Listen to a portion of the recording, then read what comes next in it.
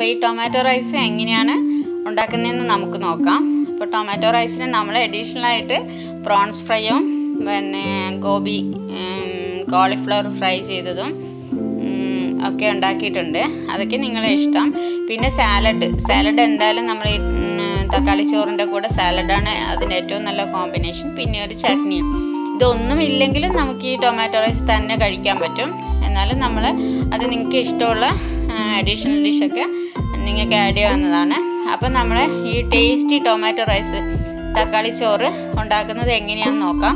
ഇതിന് നമുക്ക് ഒരുപാട് ഇൻഗ്രീഡിയൻസ് ഒന്നും ആവശ്യമില്ല. നമ്മുടെ വീട്ടിലുള്ള കുറച്ച് ടൊമാറ്റോ തക്കാളിയും സവാളയും അതൊക്കെ തന്നെ നമുക്ക് ആവശ്യമുള്ളൂ.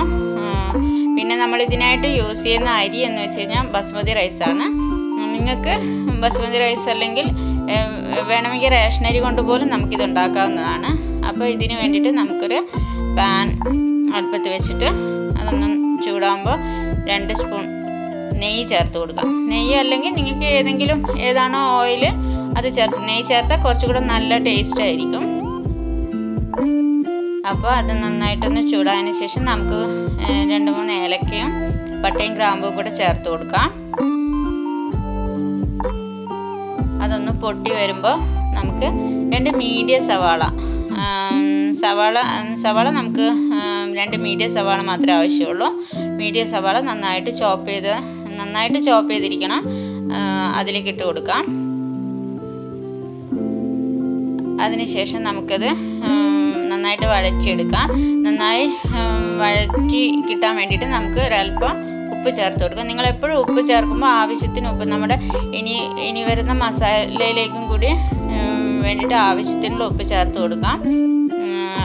ടേസ്റ്റ് നോക്കിയിട്ട് ഉപ്പ് ചേർത്ത് കൊടുക്കാൻ എപ്പോഴും ആവശ്യത്തിന് ചേർത്ത് കൊടുക്കാൻ എപ്പോഴും ശ്ര- ശ്രദ്ധിക്കുക. നന്നായിട്ട് വഴന്നിട്ടുണ്ട്. ഒരുപാട് ബ്രൗൺ കളർ ആവണ്ട. എന്നാലും ആ ഒരു പച്ചമണൊക്കെ മാറി ചെറിയൊരു കളർ ചേഞ്ച് ആവുന്നവരെ നമുക്ക് സവാള വഴറ്റിയെടുക്കാം.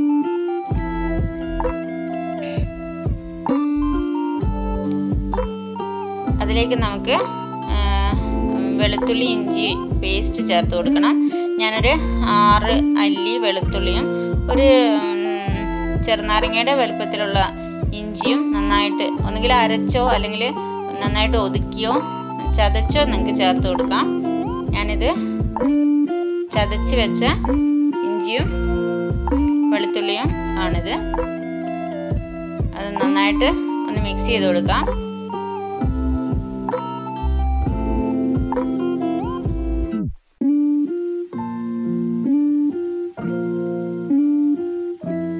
അതിലേക്ക് നമുക്ക് രണ്ട് പച്ചമുളക് ഞാൻ രണ്ട് പച്ചമുളകാണ് ഇവിടെ എടുത്തിട്ടുള്ളത്. നിങ്ങൾക്ക് കൂടുതൽ എരിവ് വേണമെന്നുള്ള കൂട്ടർക്ക് അഡീഷണൽ ചേർത്ത് കൊടുക്കാവുന്നതാണ്. എന്നാലും രണ്ട് പച്ചമുളക് നമുക്ക് ഇതിന്റെ കൂടെ ചേർത്ത് കൊടുക്കാം.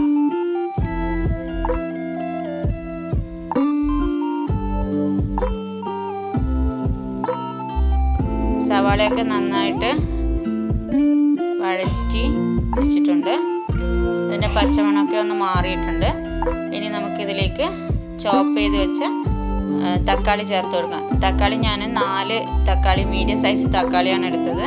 അപ്പോൾ തക്കാളി നമ്മൾ എടുക്കുമ്പോൾ കഴിയുന്നതും നാടൻ തക്കാളി നല്ല പഴുത്ത നാടൻ തക്കാളി നോക്കി എടുക്കാൻ വേണ്ടി ശ്രദ്ധിക്കുക. അതാകുമ്പോൾ കുറച്ച് നല്ല ടേസ്റ്റും നന്നായിട്ട് മിക്സ് ആവും ഒക്കെ ചെയ്യും. അപ്പം നാല് മീഡിയം സൈസ് തക്കാളിയാണ് ഞാനിതിൽ എടുത്തിരിക്കുന്നത്. അത് നന്നായിട്ട് ചോപ്പ് ചെയ്തിട്ടുണ്ട്. നന്നായിട്ട് ചോപ്പ് ചെയ്താൽ നമുക്ക് മിക്സ് ചെയ്യുമ്പോൾ നന്നായിട്ട് വഴന്ന് കിട്ടും. അതിന് വേണ്ടിയിട്ടാണ്. നന്നായിട്ട് വഴറ്റിയെടുക്കുക. അപ്പോൾ അതിലേക്ക് നമുക്ക് കാൽ ടീസ്പൂൺ ഗരം മസാലപ്പൊടിയും അര സ്പൂൺ കാശ്മീരി ചില്ലി ചില്ലിയും ടീസ്പൂൺ മഞ്ഞൾപ്പൊടിയും ചേർത്ത് കൊടുക്കാം. മസാലകളൊന്നും നമുക്ക് അധികം ആവശ്യമില്ല. അതിനുശേഷം ഇതിന്റെ പച്ചമണം മാറുന്നത് വരെ നന്നായിട്ട് വഴറ്റി മിക്സ് ചെയ്ത് കൊടുക്കാം.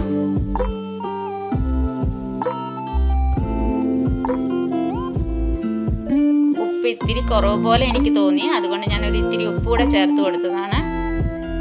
നിങ്ങളെപ്പോഴും ഉപ്പ് ടേസ്റ്റ് നോക്കിയിട്ട് ഉപ്പ് കുറവാണെങ്കിൽ ആവശ്യമുള്ളത് ചേർത്ത് കൊടുക്കണം. അപ്പോൾ ഇതിന് നമുക്ക് ഒരു പത്ത് മിനിറ്റ് നേരം അടച്ചു വെക്കാം.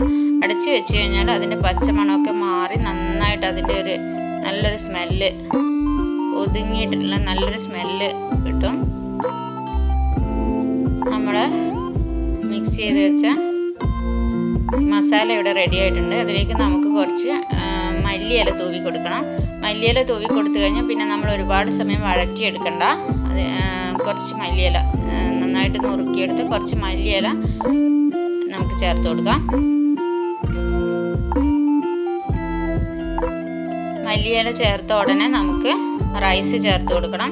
ഞാൻ പറഞ്ഞു ഞാൻ രണ്ട് ഗ്ലാസ് റൈസ് ബസുമതി റൈസാണ് ഞാനിവിടെ എടുത്തിരിക്കുന്നത്. രണ്ട് കപ്പ് ബസുമതി റൈസ് വേവിച്ച് ഞാൻ ഒരല്പം ഉപ്പിട്ട് വേവിച്ച് വെച്ച ബസ്മതി റൈസാണ്.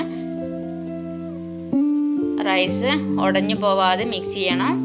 കുറച്ച് കുറച്ചായിട്ട് ചേർത്ത് മിക്സ് ചെയ്താൽ മതി. റൈസ് ഉടഞ്ഞു പോയാൽ അതിന്റെ ഭംഗിയും ടേസ്റ്റും ഒക്കെ വ്യത്യാസം വരും. അപ്പോൾ ഉടഞ്ഞു പോവാതെ ഒത്തിരി വേവി വേവിക്കാതെ ഒരു ഹാഫ് അല്ലെങ്കിൽ അതിന് കുറച്ചുകൂടെ മുകളിലായിട്ട് ബോയിൽ ചെയ്തെടുത്താൽ മതിയാവും. അപ്പം നമുക്ക് റൈസ് ഉടഞ്ഞു പോവില്ല.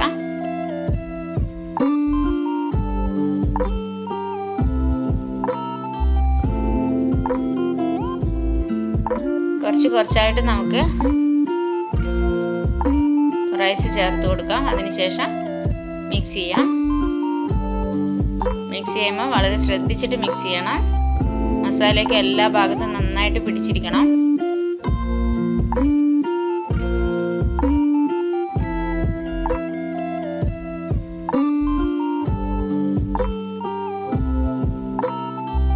ഇനി നമുക്ക് ഇതൊരു ബൗളിലേക്ക് മാറ്റാം. ബൗളിലേക്ക് മാറ്റുമ്പോൾ നമുക്ക് ഒന്നുകൂടെ മിക്സ് ചെയ്ത് ബൗളിലേക്ക് അങ്ങോട്ട് മാറ്റി കൊടുക്കാം. ഒരുപാട്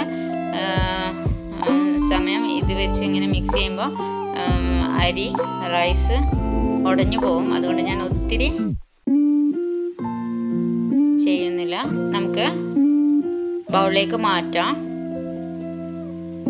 കുറച്ചുകൂടെ ഞാൻ മല്ലിയില തൂവിയതാണ്. മല്ലിയിലയുടെ ഫ്ലേവർ നല്ല ടേസ്റ്റ് വരും. ഇതാണ് ബൗളിലേക്ക് മാറ്റി ഞാൻ ഇത്തിരിയുടെ മല്ലിയില തൂവി കൊടുത്തിട്ടുണ്ട്. ഇതാണ് നമ്മുടെ ടൊമാറ്റോ റൈസ്. നിങ്ങൾ അത് ഇതൊന്ന് ട്രൈ ചെയ്യണം. വളരെ ടേസ്റ്റി ആയിരിക്കും.